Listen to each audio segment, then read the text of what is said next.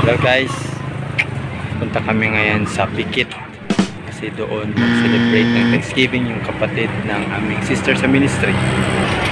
At yan po yung motor na gagamitin namin. But wait, repeat? Saan nga kayo pupunta? Punta kami ngayon sa Pikit. Pikit? Di ba sabi nila magulo dyan?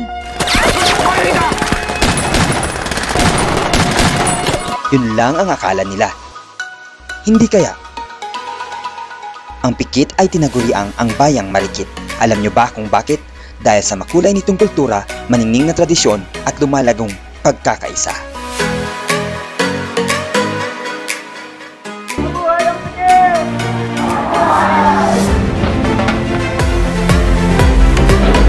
Kamakailan lang ay napakasaya ng pikit dahil sa kaligayahang hatid ng mga palaro at presentasyon ng mga talentadong pikitenyo kasabay ng maingay na hiyawang nagbibigay sigla sa bayan ng pikit.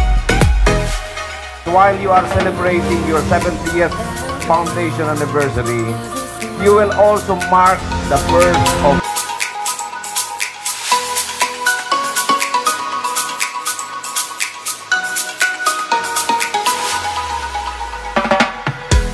Nakakasabay na ang pikit sa mga bayang lumalago at bumabangon tungo sa pagunlad.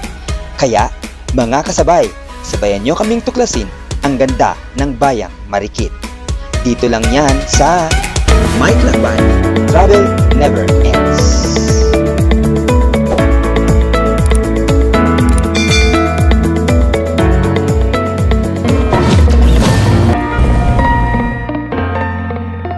Kasama ko ngayon, siya yung driver ko ngayon. Yung pinakapoging Samuel Fernandez. Eh, tinakpan niya lang yung mata niya sa kakon para hindi makilala baka kasi dagsain kami doon mamaya ng van. Mga fans niya. Ang bayan ng Pikit ay isang first-class municipality sa lalawigan ng Cotabato. Kilala ang Pikit sa malawakan nitong produksyon ng bigas at ng iba pang produktong pang-agrikultura. Pinapatingkad din ng mahaba at makulay na hagdanan ang refreshing nitong Municipal Plaza at Municipal Hall na nakaupo sa Burol. Ayon sa 2015 census, ito ay may populasyon ng 154,441 sa may 35,507 na kabahayan. Isa sa mga magandang pasyalan dito ay ang historical landmark na tinatawag noon bilang Fort Pikit at ngayon ay kilala na bilang Bahay Kastila. Ang Pikit ay mayroong 42 barangays at isa na rito ang Barangay Takipan kung saan kami pupunta ng aking mga kasama. Sasamahan namin ang aming kaibigang Pikitenyo sa kanyang graduation Thanksgiving celebration.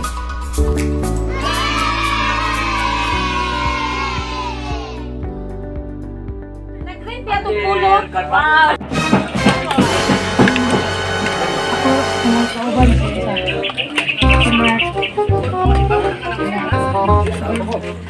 Ito the vlog.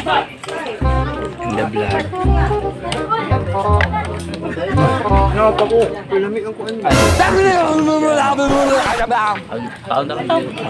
Ayun po, nakita niyo yan. Yan yung sabi ko kanina na nakatakip pa yung kwan. Yan yung sa nakita niyo. Ang heartthrob ng Carmen. Yung pinakamagandang Ayos na. Busy siya ngayon. Busy siya. A few moments later.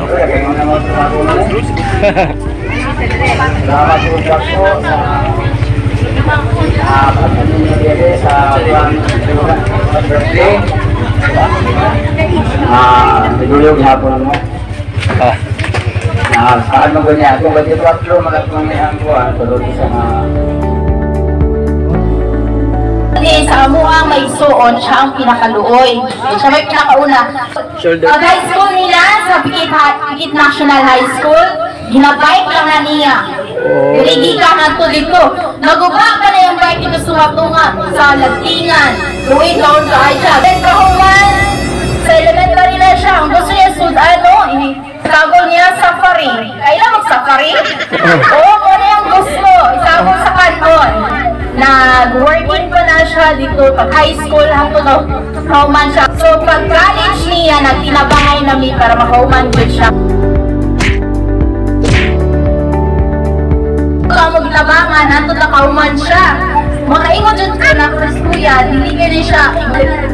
Sa tabang sa Ginoo, ipapasa sa siya sa entrance exam, itabangan siya sa iyang mga friends, uh, teachers, antod na kalampo siya. So, we thankful kaayo nga tao magtabang sa iya, uh, nga gisugo sa Ginoo. So, sa tanang nagtabang sa kuya, thank you kaayo. Thank you po guys sa tanang nagtampo ug sa akong pamilya nga naghatag og ginabuhi sa akong kuya. Salamat po kayo sa inyong live. Um, ito pa nga. Wala pa naman! Wala pa na naman. Pero padayon na to. Ako kayo na pong pasalamat na nadyo ang buhay ginoo na nagawag yun sa akong live.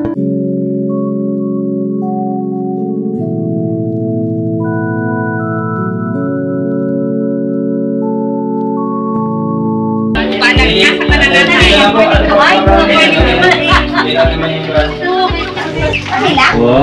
Saan pa mga ma'am dyan? Wala ka may sir dyan? Hello guys, welcome to my vlog. Dito tayo sa celebration Ayan. sa congratulate kay James, kanyang nakaraang karawan. Take, take, take a picture.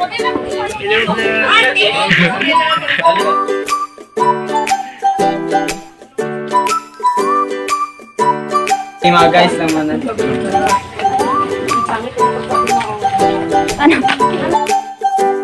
three. One, two, three. Smile. Apil nas video.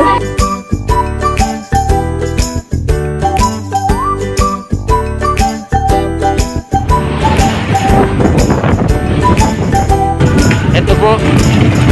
Kahabog.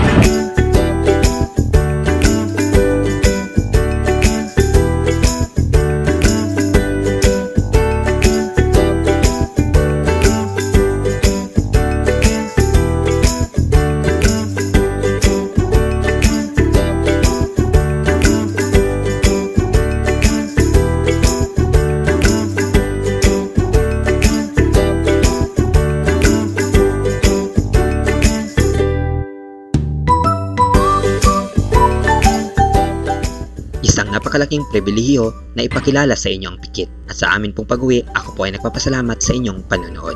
Abangan niyo po ang mga susunod ko pang videos tungkol sa paglalakbay.